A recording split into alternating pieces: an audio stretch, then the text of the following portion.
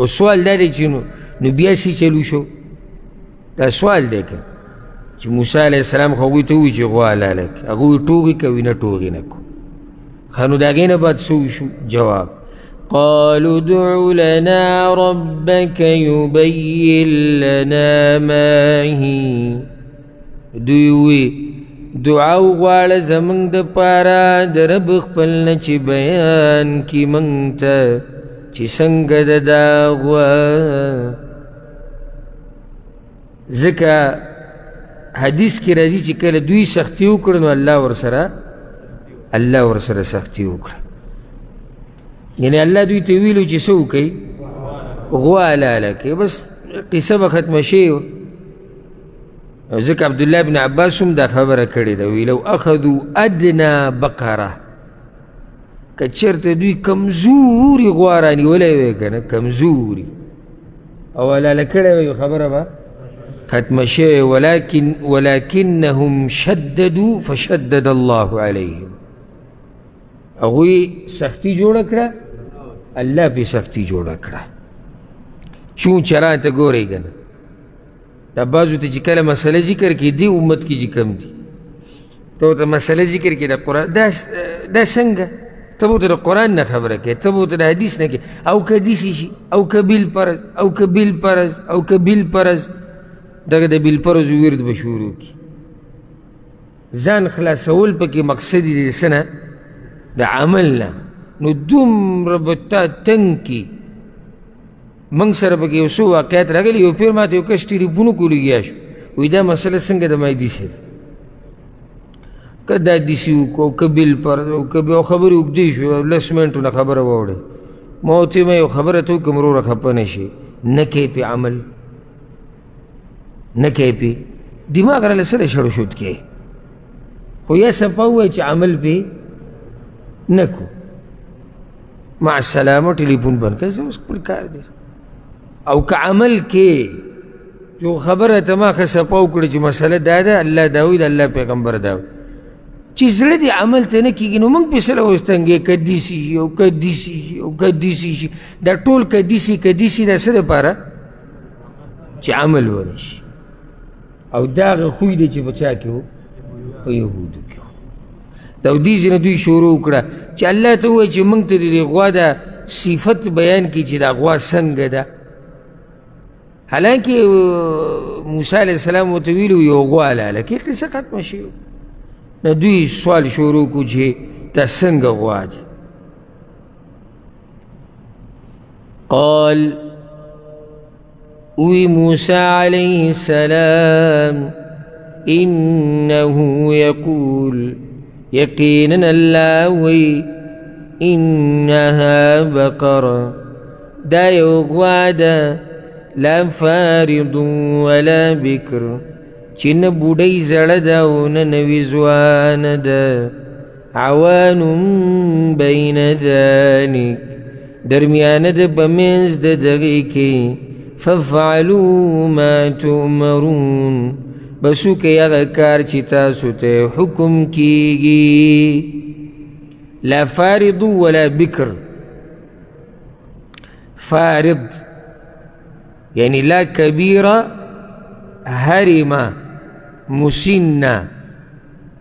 داسې غوا نه چې هغه سمه زړه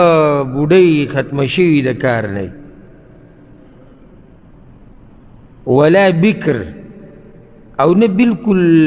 کم عمره او د دې دواړو فایده نه د دې دواړو فایده نه چې عمر ډیر شي د حد نه واوړي نو دا د کار نه او چې عمر ډیر کمی نو دا هم څه د کار نه عوان بين ذلك عبد الله بن عباس وی نصف بين الكبيره والصغيره عوان بين ذلك معنی ده چې په منځ د دې دوه کې په منځ د بوډۍ په منځ د نوي ځوان کې او په دې ټیم کې یعنی دا د ساروی د طاقت هغه اعلی ترین عمری د ساروي د طاقت د ټولو نه اوچت عمر کم یوي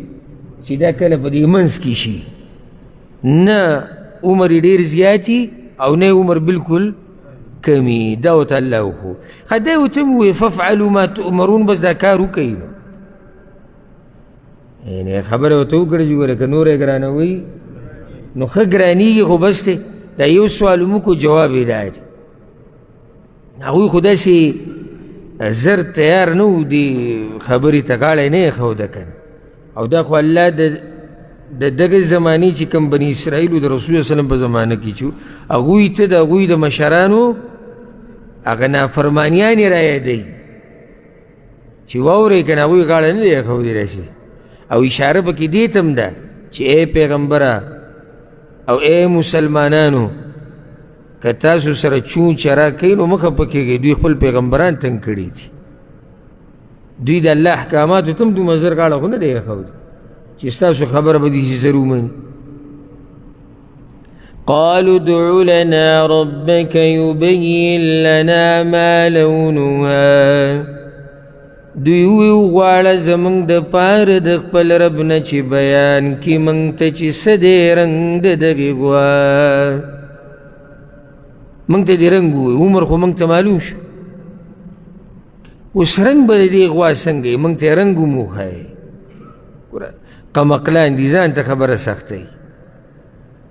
او رب العالمین مهربان بچا دی خو موسی علی السلام ته ویلو ویل قوم ته دی وجی وغواړي لکی اول سوال کې سره سختی وي شو نو دویم کې دوی بیا ځان سره سختی جوړ چې دا به کم رنګي قالوا يا غا انه يقول يقينا الله وي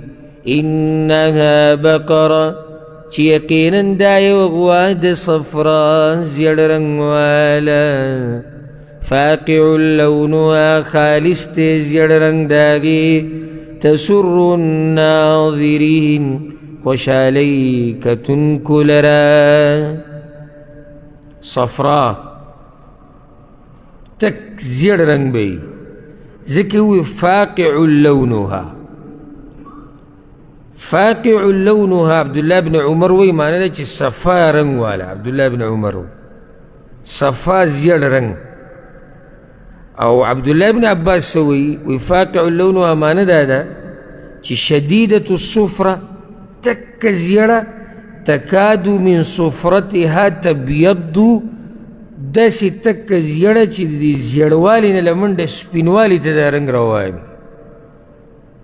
کله ډېر زور یو رنګ راور کړي که نه نو دا بیا بدلیږي بل رنګ ته روان شي معنی دا چې تک زیړ رنګ به دا خلاصه ده او وهب ابن منبه رحمه الله وی وی تسر الناظرین دی کوي یعنی اذا نظرت الى جلدها چې کله ته د هغې سرمن ته وګوري نو چې تا ته داسې ښکاري لکه د نور د شعا د دې د دې غوا د دې سرمنې نه راوځي داسې پړقېږي یعنی زیړ رنګ چې کله بالکل خالص شي که نه نو دې کې څه دې کې پړق پروت وي پړق نو چې ته ورته ګورې لکه نور ته چې ته ګورې او د نور دا رڼا د باندې پرېوځي نو دي سه بخکاری تا ته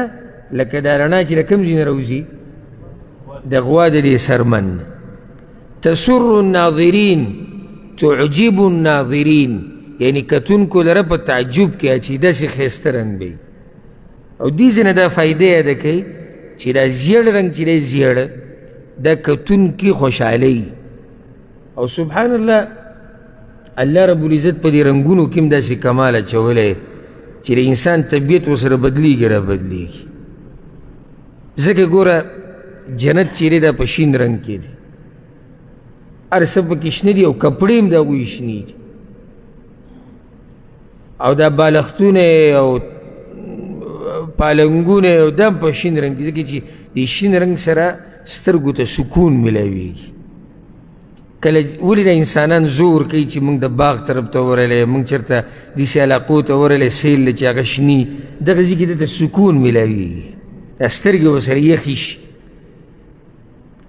تور رنگ په سړی باندې ساډوبي راوړي تور رنگ په سړی باندې ساډوبي راوړي دغه شان سور رنگ د سړی مزاج خرابوي سور رنګ د سړي مزاج خرابوي کله چې ته وینه ویني او سور رنګ ویني طبیعت یې څه شي ګډوډ شي وګوره ځکه د ډاکټرانو اپریشن چې کوي نو شین رنګ کمیس یې اچولی چې دې ته دوی ګوري نو دا سترګې څه شي دا په ارام شي زیړ رنګ ته چې سړی ګوري دا سړی خوشحالوي چې د سړي دا سترګې ورته روښانه شي سپین رنګ ته چې سړی وګوري د سړي طبیعت برابرېږي سپین رنګ سره هم طبیعت څه شي هغه برابر شي ته ځي ته ورننوځي که نه او سپین رنګ یې ورکړی دی کمرې له ټولې د سړي د طبیعت پکې باغ باغ شي دا ځای سړي ته دي چې کولاو کولاو ښکاري او ته چې ورننوځي د بعضو پکې سم ډیزاینونه جوړ کړي یو دیوال یې زیړي او بل یې سوري او بل یې شیني ته وایي چې یاالله دا زه کومې دنیا ته راغلی خو چې اوس زر د دې ځینې ووتې طبیعت ته سړي هلته هلته خرابېږي بعض رنګونه داسې دي دا خبره به رانه ډېره اوږده شي کو بعض رنګونه داسې سړی وږی کوي لکه سور زیړ او مالټې رنګ چی دا سړی ته لوګه پیدا کوي او ځکه دنیا کې چې کوم غټي وټېلې دي چې هغه برانډ برانډ دي د سي معمولی وټل نه نو دا غوي رنگ اکثر هغه یا سوري یا زیړی او یا مالټي رنگ کې دا غوي هغه د نه بوډونه او کرسي او د ځکه چې غوي ماحول دي شي جوړ کړي دي چې دا سړی زمونږ سره نه شي دي سي دی وږي او ته ته د نه تور رنگ لګولې یا بل نو دا دې په دې نفس باندې اثر کوي او دا د الله رب العزت طاقت دی او قدرت دی چې دا کمال یې په دې رنګونو کې اچولی دی نو هغوی ته کومه غوا وویلی شوه زیړه غوا فاقع لونها خالصه زیړه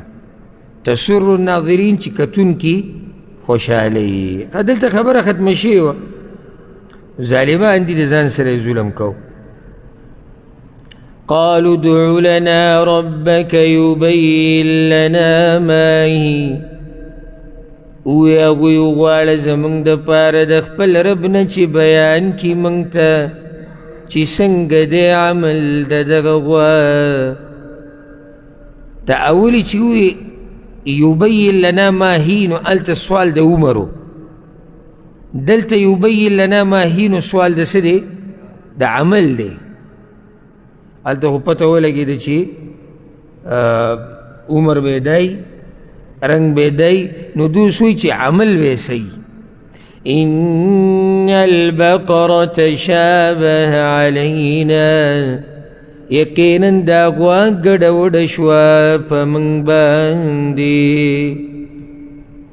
دا خو دوی په ځان باندې په خپله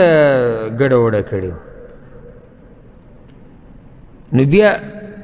یعنی دوی څه وي ګډه وډه شو معنی یو دې معنی دا هم ده چې داسې غواګانې خو ډېرې دي یعنی زیړ رنګ والا به هم میلاو شي او چې نه عمر ډېر زیات او نه کمي دا خو ډېرې نو ته د الله نه تپوس وکړه چې عمل یې څنګه دی نو د هغې د لاسه به موږ ته بیا پته ولګي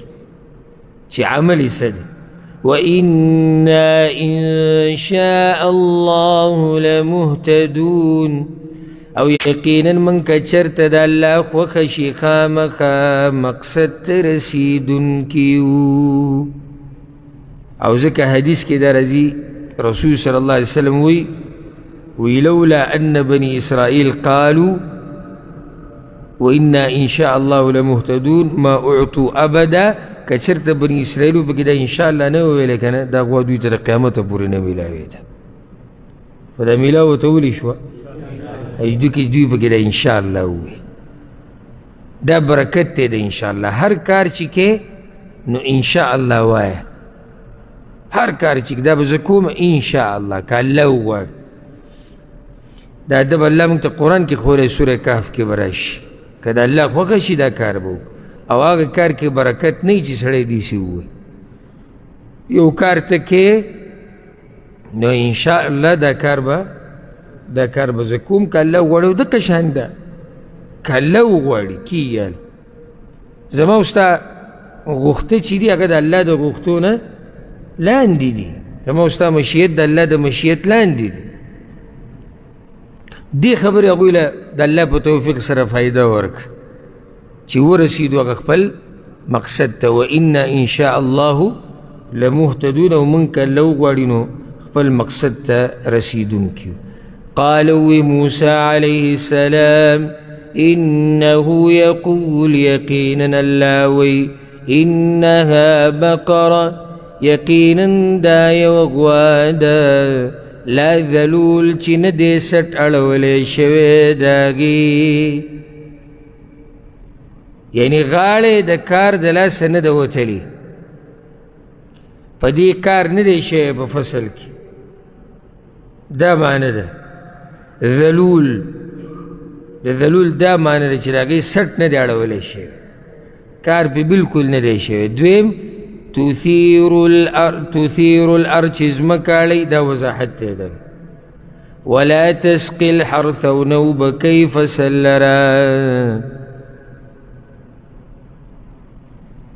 معنی دا چې غاړې نه د وتلې کار پې نه دی شوی او بل دا چې فصلونو د پاره چې کمی اوبه استعمالیږي یا راویستل کیږي یا فصلونه په خړوب کوي پاغي باندې پاغي کوم په دې باندې کار نه دی شوی او د غوا دغه کارونه یې نو سورلی خو پرې نه کېږي که نه ها سورلی په غوا کېږي نه دغه دوه کارونه فصل پې اړولی کېږي پټې او یا اوبو د پاره استعمالیږي چې فصل پې خړوب شي او هغه دواړه کارونه په دوی باندې په دې باندې نه دي شوي ځکه الله څه وایي مسلمة لا شية فيها روغ رمټ دایس داغ پکې نشتی روغ رمټ ده یعنی بالکل چې کار به نشي خو روغ رمټ رس عیب پکې نشتی لا شیت فیها اس داغ پکې نشتی معنی دا چې یو بل رنگ نقطه د بل رنگوم په دې په دې رنگ کې نشتی داسې په الله دا مسله دا سخته کړه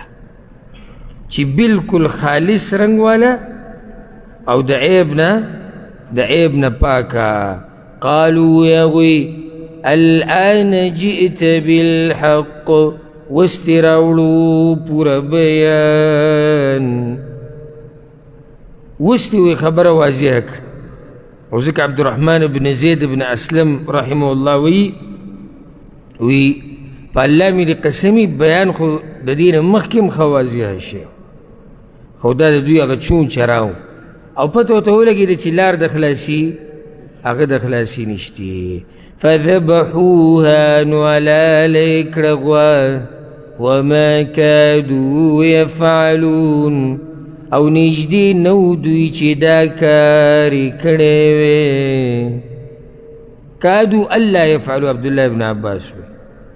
یعنی نږدې و چې دوی دا کار نه وی کړی معنی دا چې دوی غاړه دې تری سي پاله آسان نه خو دا دا دوی چې دا قصه دومره وګده کړه د څه د پاره چې د دې عمل نه ځان بچ کې دي د پاره لګیو نو ځکه الله وی چې وما کادو يفعلون دوی نږدې نه و چې دا کاری دا دا کاری کړی بیا دوی په دې غوا پسې ګرځېدی شروع کړو دوی چې غوا به را پیدا کړي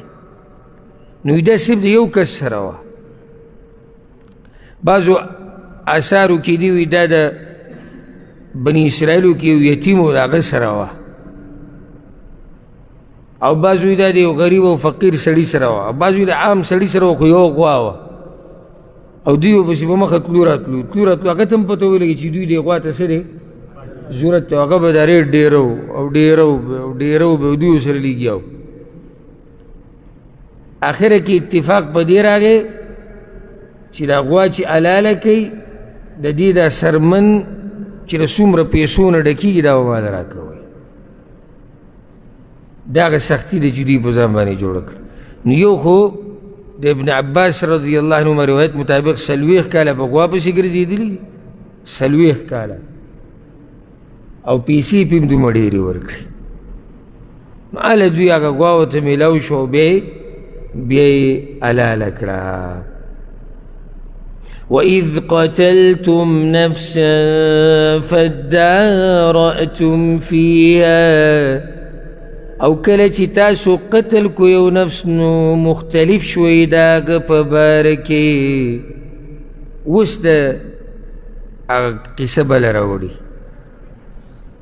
نو ځکه اکثر علما څه وایي ما څه وایي نه اکثر علما وایي چې د قصې یو دي ما وی جمهور دا وایي چې دا یو قصه ده دا غوای په دوی دي لپاره لکړي دي چې دا قاتل معلوم شي او باز دا وایي چې دا جدا جدا دي او چې سړی سوچ کوي نو دې خبره کې وزن ډیر دی ځکه چې بیا به دا خبره د دغې نه مخکې کړې وی چې تاسو یو سړی وجلی او اختلاف هم پکې وکړو نو ما د ته د غوا حلالولو نه د دې قتل خبره وروسته کې دا پکې په منځ کې رااله او هغوی خو غوا لاله کړې وه غوا یې لاله کړه او دلته پکې مسله د چا راله د دې قتل دا کیس پکې راغی خلک رالو موسی علیه السلام خواله یره فیصله وکړه موږ له دا به څه چل شوی الله ورته وایي فدارأتم فیه تاسو پکې اختلاف وکړو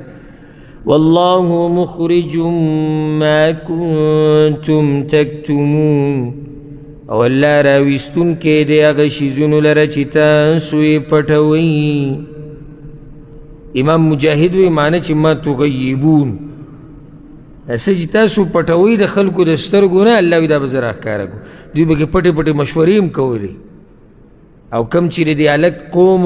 یا ملګری یا د د پلارو یا د درونه بعضو اثارو مطابق د درونه نو دوی دا خبره پټوله را پټوله چې خلکو ته ښکاره نه شي چې دا سړی د وجلې دی نو الله ما راښکاره کول هغه څه چې تاسو پټ کړي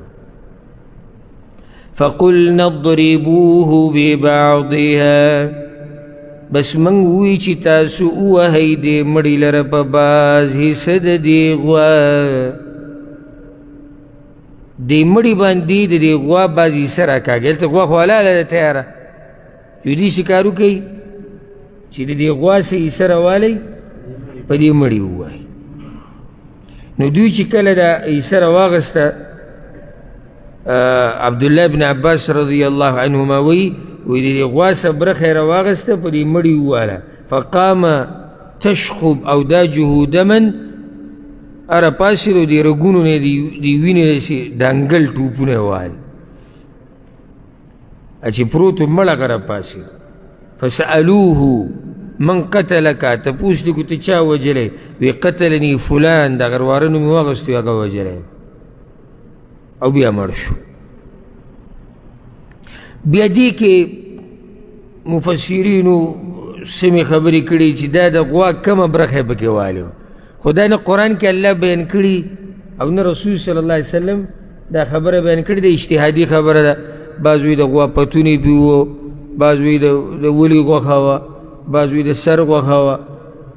خو کمنګه معلوم کو نو دوه مګټه فائدہ نه ده او کمنګه معلوم نه کو څه نقصان پکې نشته مقصدی خبر دار چې د غوا یو برخه راغستی و او هغه بچا والی و په مړی باندې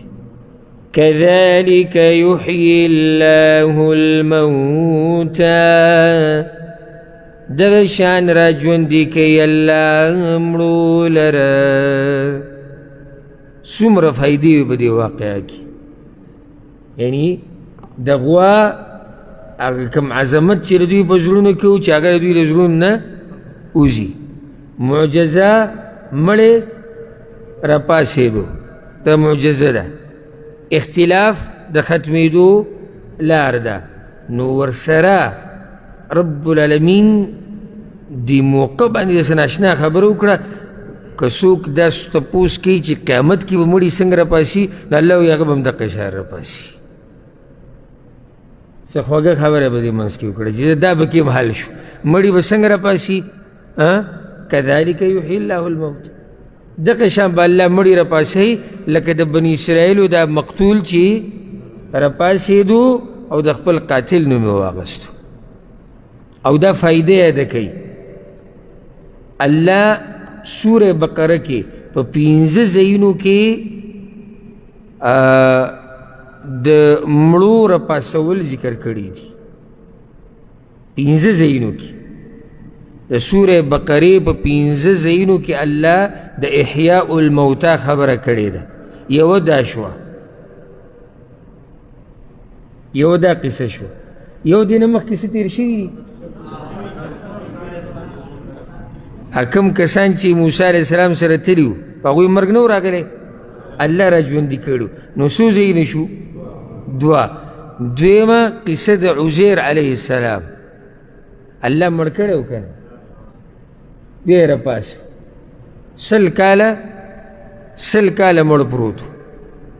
بیا الله را پاسو درې واقعې شوې څلورمه قصه ده ابراهیم علیه السلام کله چې هغه څلور مرغان راواغستو او هغه وټکول چکنی کړو میدې کړو او بیا الله غره ژوندې کړو څو شوې څلور څه خو پکې پاتې که نه پنځمه پاتې ده بله الله چې کله د طالوت او د جالوت قصه کوي د هغوی نه مخکې د بني اسرائیلو تذکره کوي چې خرجو من دیارهم وهم الوف حذر الموت